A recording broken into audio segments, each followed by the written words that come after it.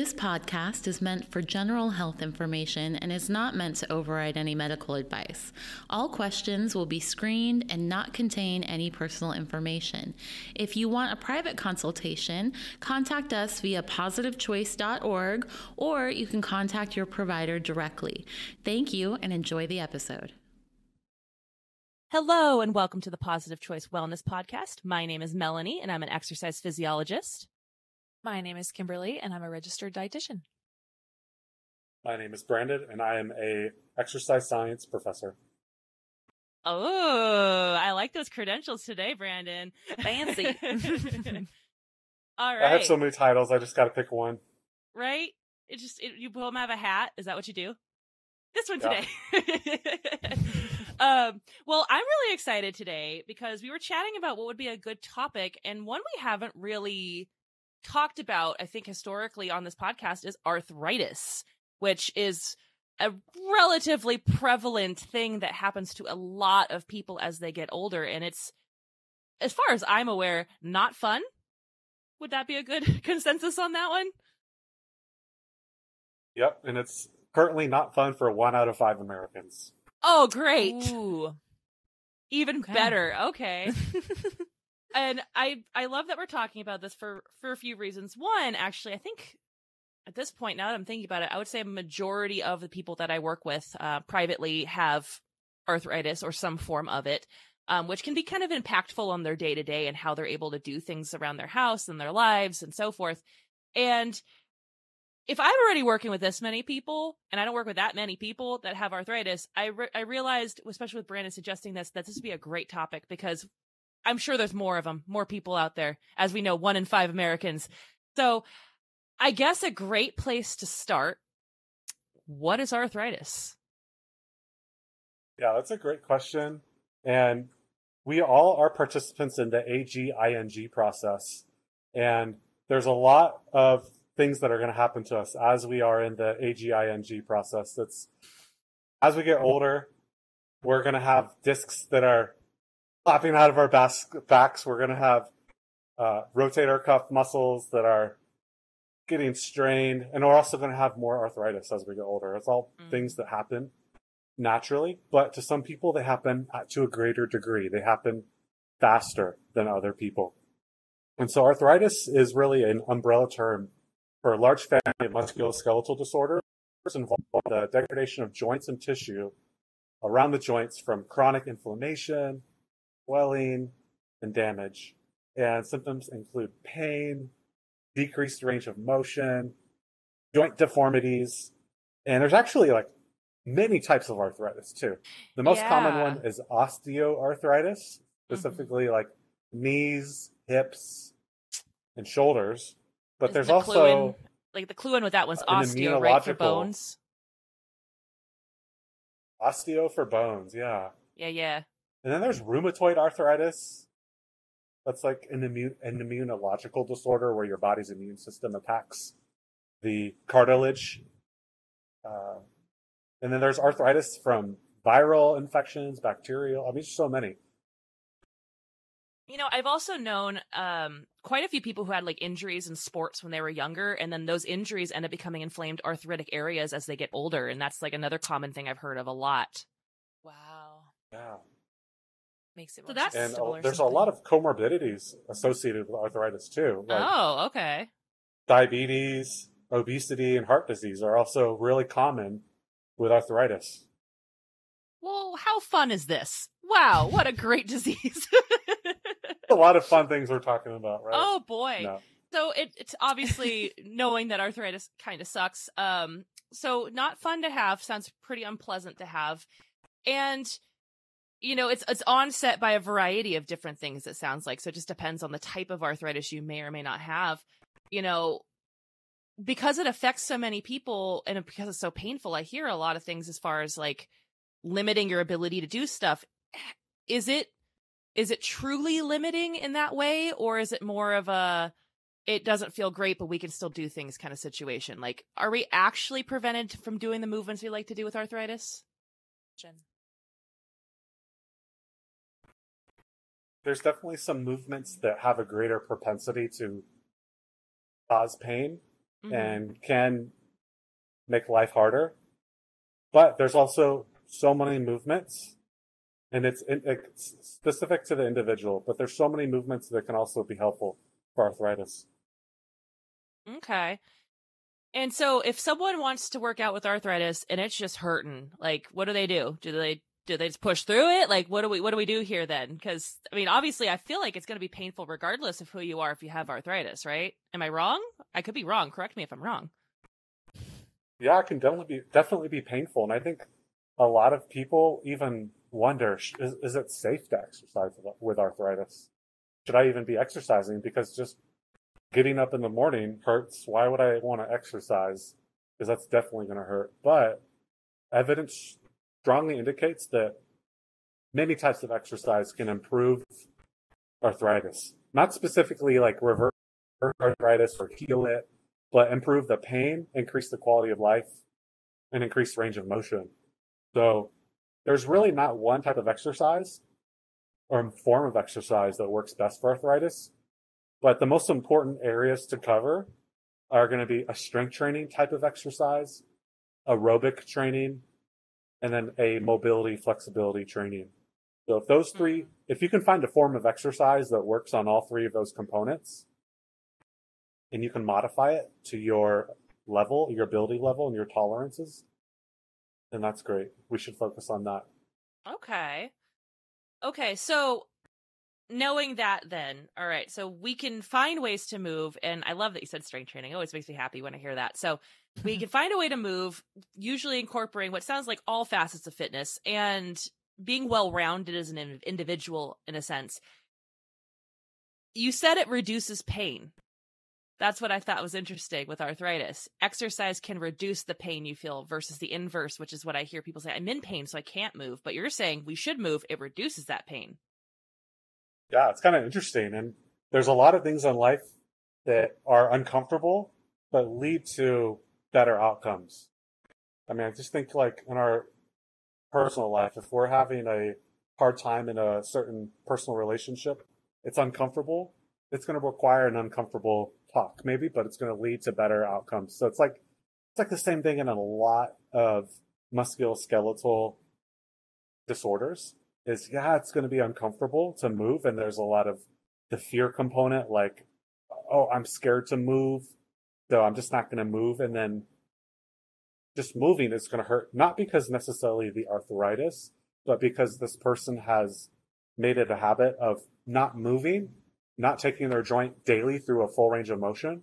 So therefore, anytime they get out of that small comfort zone, it's per- their brain perceives it as pain even though that pain may not even be coming from the arthritis, it just may be become be coming from lack of movement. So yeah, exercise at first it might cause a little pain, and that's actually normal. It's normal to feel a little bit of discomfort or mild pain during exercise, but we just want our patients and listeners to know don't worry if you feel a little bit of discomfort or mild pain because that doesn't mean that your joints are being damaged further and that's been shown in the research as well. I have a citation for that. I can always cite those too. We want. Of course. You like the research guy here. That's what you're for, Brandon. yes. Yeah. I mean, so I'll just show you right now, like the the American Council of Exercises professional guide to personal training says that mild discomfort is to be expected, but it doesn't mean that further joint hmm. damage is happening. Okay. So it's just kind of like a part of the process. Okay. That's cool because I've had a number of patients come to me saying that their doctors have told them motion is lotion, right? So sounds like that totally applies. I had a patient tell me that the other night. right? yes. Yeah. Absolutely. That's a good one yeah. And I, you know, I know that obviously one of the big benefits, of course, of movement is it helps with joint lubrication. That's like one of the big things with movement. It just proceeds to help with that. And obviously if we are feeling stiff and inflamed and we just stop moving you have lack of that so it does make a lot of sense pointing out like yeah if you're just not moving in general it's going to suck regardless if you have arthritis or not so and we all know that as just the average person if anyone's ever sat around for extensive periods of time and then suddenly said i'm going to start moving now the first time you get back into it not fun I would say the first time back after a while, not fun, not a fun Mhm. experience, doesn't feel great. But I know I don't have arthritis, so when I get back into it, it's like, well, this is just unpleasant, but I know it's not because of that stuff. And now it makes sense thinking about these patients that we might have who just like, oh, it doesn't feel good as my arthritis. Possibly not. Interesting point. Interesting point that you're uh, bringing up there, Brandon. Yeah, that is Now- interesting. So th- when we talk about incorporating this well-rounded physical activity routines you're mentioning like full body mobility range of motion exercises strengthening and cardiovascular exercises so the whole kit and caboodle here. Are the recommendations for that different compared to the average person? Like usually when we talk about people's strength training i'll say like hey you know you do like 8 to 12 reps two to four sets you know blah blah blah. Like keep it pretty much a generic recipe for strengthening but with people with arthritis does it change That's a great question. And the American Council on Exercise, the American College of Sports Medicine, and the National Strength and Conditioning Association all have, all share that the guidelines of exercise for arthritic individuals is basically the same as for general population. There's not like, there's really no difference. The only difference is, is like mo- making modifications and staying away from certain movements that really do exacerbate the pain, such as like twisting or something like that. But yeah, the, the guidelines are actually really similar, if not the same, as general population. So there's no specific recommendations for arthritis that are wholly different. I mean, I have some recommendations from those organizations. I mean, they, they recommend two to three sessions a week of resistance training Yay. uh, at a moderate load, moderate intensity, right? That Mhm. doesn't sound too different from re- what's recommended to the general population. Um, they do say to start with shorter session lengths to determine your tolerance, right? So if you're listening, you have arthritis, don't start with a hour and a half session. Start with a 15 minute session. Determine your tolerance. I mean, I find that so many of the barriers that people have of exercise is because they didn't establish their pain threshold or Mhm. their tolerance for their conditioning. Gotcha. So just start small, start slow.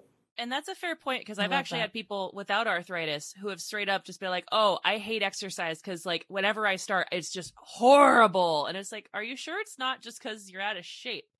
I don't say that actually. I say it much nicer than that. But, Yeah, let's talk about that. Yeah, but like where your fitness level is can make a play a role in this. Absolutely. that's good. So, what do you think is worse than the wrong type of activity for arthritis? What type of activity do you think is worse than the wrong kind? You go, no activity. None. Ah, I was like, I knew the answer. I was like, Kimberly should say it. none. No movement. No activity is worse than even the wrong kind of activity. Mhm. Uh, Yeah. so the effects of a sedentary lifestyle are going to worsen the symptoms and advance the arthritis even more severely. So I that's totally believe that. really the most important thing, really, why we're having this discussion, why we want to educate people on arthritis is, hey, if you're just going to be sedentary, it's going to get worse a lot quicker. Because what comes with being sedentary? Gaining weight, a cycle of depression, which increases the risk for other health issues associated with being overweight. And as you actually gain weight, the arthritis becomes harder because there's more load going in that joint. So for every pound that is lost, the load across the knee decreases three to six times. And that source comes from a research article from the Journal of Osteoarthritis um, that I found on the um, national, wait, what is the NCBI? Well, I forget what that acronym stands for. Uh, but anyways, it's peer-reviewed research, peer-reviewed uh, review on arthritis. Wow. So there's even benefit to just being on your feet and being active. Like even though it doesn't feel good, right? Um, that couch potato life does not have a positive effect whatsoever. So even just being on our feet is a good thing. Which we know that from like being on our health anyway, right? But Yeah. but still.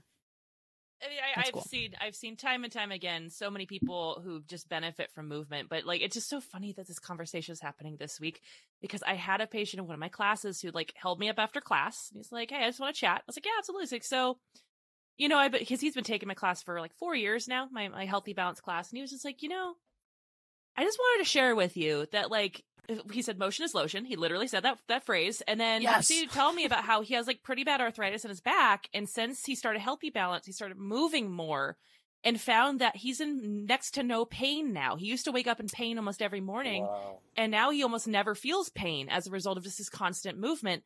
Now, granted, he was super inspired by one of the other people in that same class who got really into bike riding. So then he got himself a bike and started riding his bike like 30 miles a weekend and like Oh wow. he started moving so much and it was just really cool to hear that and how it's really impacted his life in such a positive way just getting that extra movement in That is so cool. I was literally just going to ask if either one of you had like a testimony from like patients that you worked Yeah, from, like, three days ago. them. That's so cool. I love that. Yeah it's and i i mean i love when patients basically validate the things that i say it's kind of nice so it makes you feel good you're like thank you you know Yes, it's- great Right? to see the light bulb go off in their head like you were right. It's just so Yay! nice.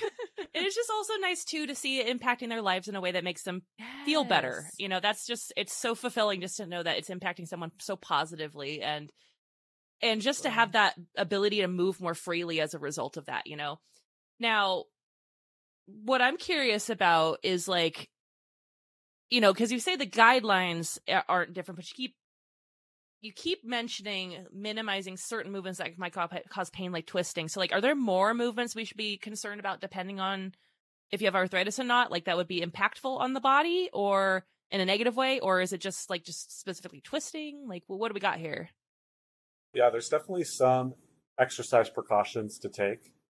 And some other ones are going to be high speed, high impact, high intensity movements, especially in the transverse plane, which is that twisting rotation movements. Mm-hmm. And that's because that can contribute to higher shear forces in the joints, which can lead to the more degeneration. And that's, that point specifically comes from a source I have as well.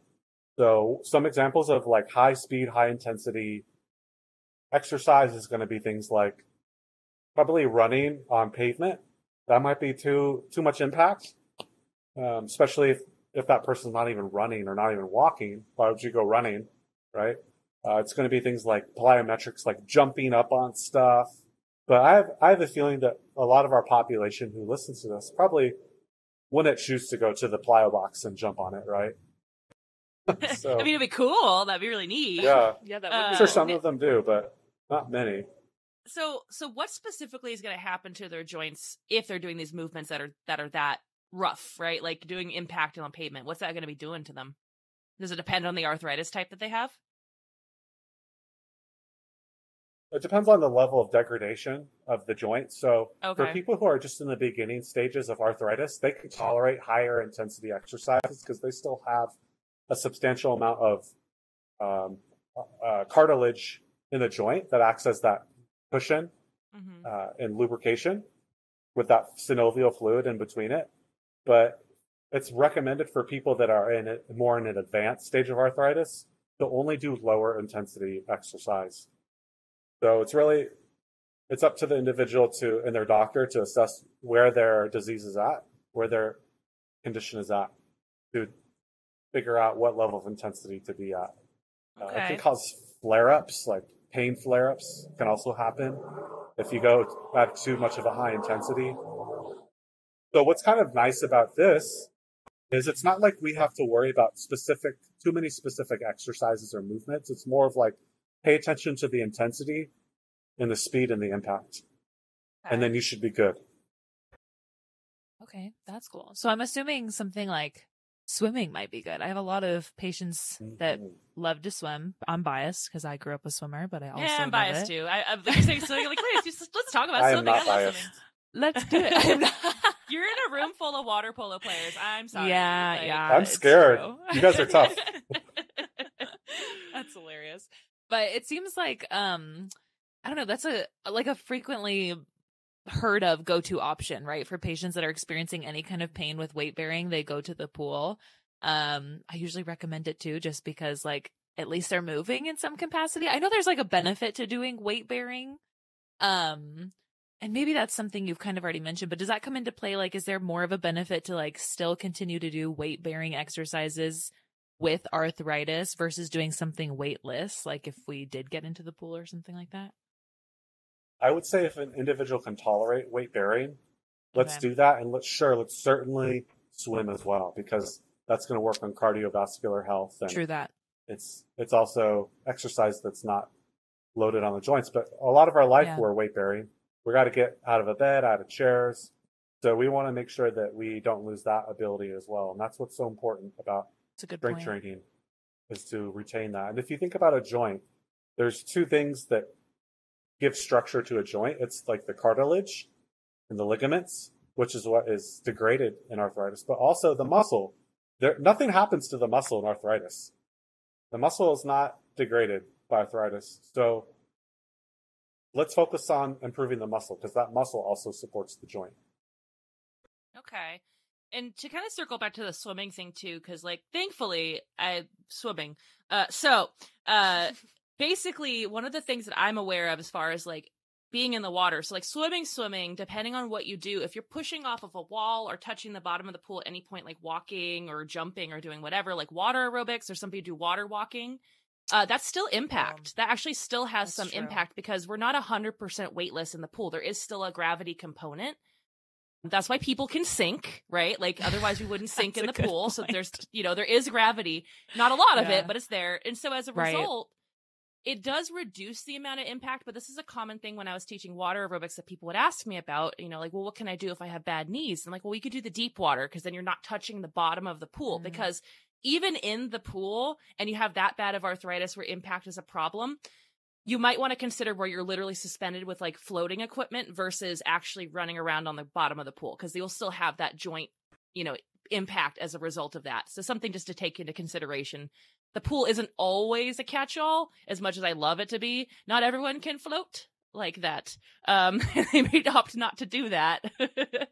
um, but the other one that I've also known to one recommend and two uh, understand is a pretty decent way to navigate around arthritis is like a recumbent bike is another one I've I've known to be a really good low to no impact version of exercise they can do. Yeah. Or an elliptical that might be a little more because you're in a standing position. Tai Chi is Mm. another one. Ooh. yoga, different types of Mm. yoga, especially our positive choice yoga videos that we have on our website. There's a lot of those that just involve being in a seated position. Those would be great. Mm-hmm. So just modifying things to make them suit what you're physically capable of doing is is basically the the key here. Um, and what doesn't cause excessive pain, right? We don't want to be super pain when we do this. Yeah, that's the main point of this whole podcast is exercise has been shown without a doubt to improve arthritis symptoms. So we all need exercise. It's just a matter of finding what exercise modifications we need to make and find our threshold or our max level that we should stay under.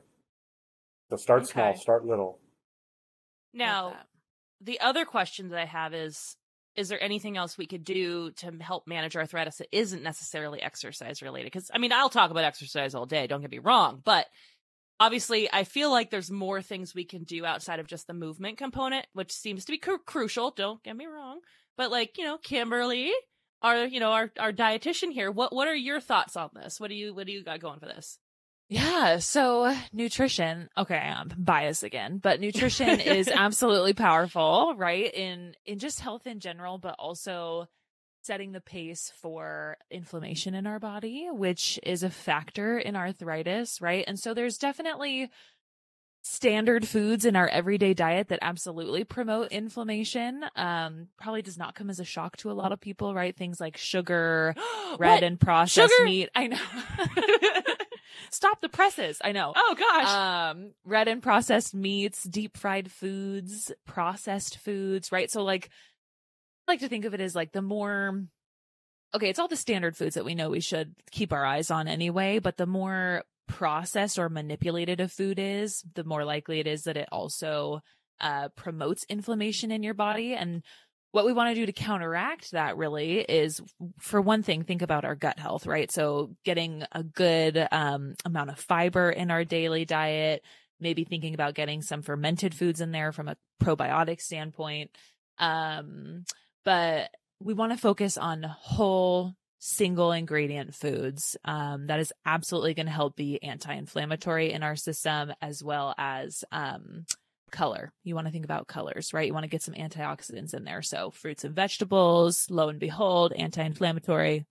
Um, especially actually the reds, the blues, and the greens. Those Ooh. particular pigments are extra anti-inflammatory. They're extra potent. So anyway, yeah, definitely some things we can do.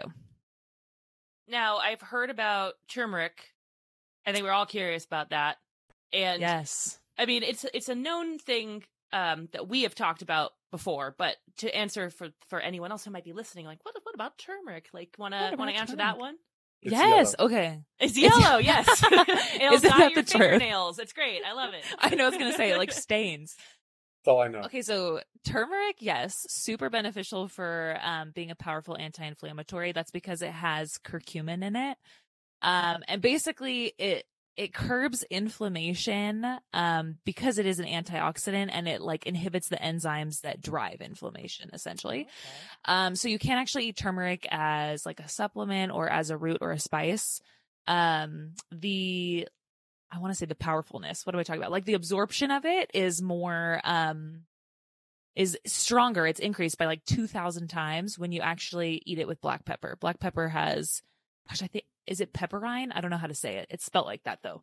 Um, in it that, um, when you take it with turmeric, it increases the absorption of it.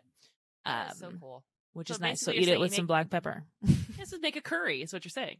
there you go. Exactly. Yes, you're the chef. What are Make a curry. I have a question for you, Kimberly, Melanie Yeah. as well. What are some easy ways to add more turmeric and black pepper to meals? Because I'm thinking those are those have very unique tastes. I don't know if it if it comes out in every dish. So what would be some like ways to eat that more throughout our week? That's a really good question. Melanie, do you have an answer to that? Because you're the flavor queen. I My first thought was a patient that I have who makes it with apple cider vinegar and drinks it, but like you don't have to do yeah, that. that's not what I'm talking Oh, about. wow. Yeah, no, no, no. But yeah, she'll do like apple What cider vinegar, water, turmeric, and, and black pepper, and like just go whoop and throw it back. And I'm like, well, that's a cocktail I've never heard of. Yeah, so that's one way, which Like a I don't wellness think is the most palatable, in my opinion. Mm. Um, but like turmeric, you can add to really, really a lot of things. Like it does have a flavor, but it kind of also depends on the other things you're adding to it as well. Now, Indian food has a lot of turmeric in it, like a lot, a lot, a lot. Um, that's kind of what we know of, but it's a lot of Middle Eastern foods have it as well.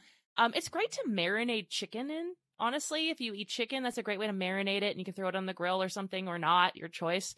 Um, nice. it's like yeah, black pepper and turmeric right there. Uh, some people mix it into smoothies because if they have other really powerful flavors in smoothies, it's a great way gonna mix that, Yeah. in. Um, yeah, I mean, th- there's lots of different ways to do it. But my honestly, my first thought always goes to curry because I was like, oh, that's what you do is make a curry. Um, but I don't know if there's other ways you've heard of or know of, Kimberly, to incorporate that. Oh, I'd be lying if I said I was the best cook on the planet, but pretty much the ones that you just mentioned, Yeah. especially smoothies, is probably the one that I hear is the most It's- popular. But beyond taking a supplement, yeah. Yeah, What about Um, oatmeal? that'd be an interesting colored oatmeal. I was just gonna say you might have like um alien looking oatmeal, but oh, like even oh. just with like a quarter teaspoon.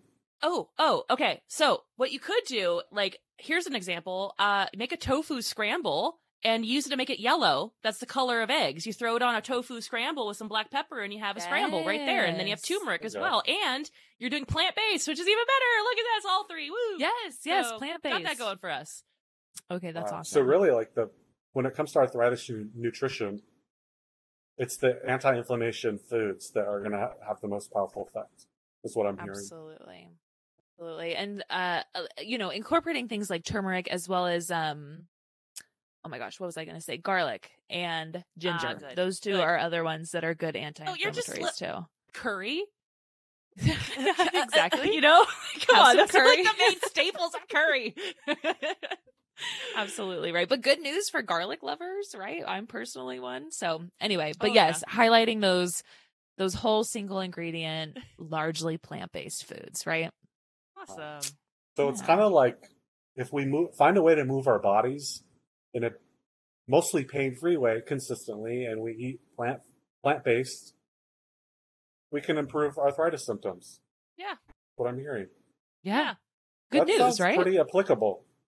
Yeah, it's eat well, move more. Not eat less necessarily unless you want to lose weight, but eat well, move more, right? Like just eat yeah. eat I will quote Michael Pollan, eat real food, mostly plants, not too much. That's my favorite quote. Oh, I will oh, I always love quote that that. quote too. Um Good. like that that's the way I live by. I love it and I want everyone to live that same way too. And it's not like you have to be 100% plant-based because I said make some chicken. Uh so you can do whatever you want, but Right. the reality just comes down to choosing foods that will promote you know reduction in inflammation. Yeah, I love that. And and um ugh, sorry, I just lost my train of thought. But what I was thinking to what you were just saying is you're you're totally right. It's you've mentioned making chicken. It's okay to have like animal sources of protein, right? But you just want to emphasize like the whole single ingredient foods. Um and if you go the plant like the animal based protein route, think about getting organic, free range, grass fed, right? All those types of words. Those are what you want to see because um you know if you don't see those words traditionally the animals are fed corn which messes with you know all kinds of things that we wind up eating when we consume an animal product from Yeah. anyway which has to do with inflammation too so be picky i guess is what i'm trying to say Picky. yeah Awesome. Well, unfortunately, it's about that time. We must, we must behold. go. Um, but I feel like we've kind of summed this up pretty effectively here towards the end. So, um, anything that you want to share, Brandon? You want to plug yourself as a trainer? What do you want to do here? I think I think I'll just share a resource, um, a really great resource that I got some information on on on arthritis was the Arthritis Foundation. So it's just called, it's just arthritis.org, and it's a Oh, really great website where they have information about different types of arthritis. Uh, They have different treatments like a drug guide, a surgery guide, um, health and wellness. So they have healthy living, pain relief, eating healthy, and arthritis, and they'll are um, eating, moving, exercise for arthritis, and then they have like research on their website that they've done on arthritis. So a lot of different types of resources in this website, and this isn't just like a random website. This this website is cited by a lot of the uh, organizations that I cited earlier. So just citations layered upon citations. That's Love hopefully it. That gives everyone awesome. confidence. It's not just a an Instagram account that I'm giving everyone or something. and then I'll also share as well plug for uh, one of our facilitators. So we have a facilitator, Carrie McCloskey, who is teaching a Living Well with Osteoarthritis program. It's free for Kaiser members to